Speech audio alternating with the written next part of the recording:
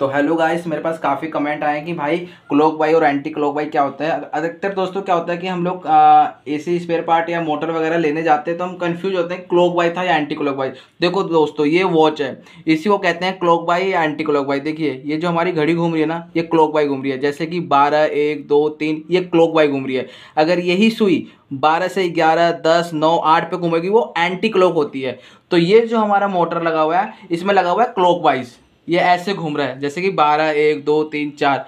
अगर यही मोटर इस साइड घूमता है या पंखड़ी इस साइड घूमती तो होता है एंटी क्लॉक दोस्तों, ऐसे वीडियो देखने के लिए हमारे चैनल को सब्सक्राइब करें।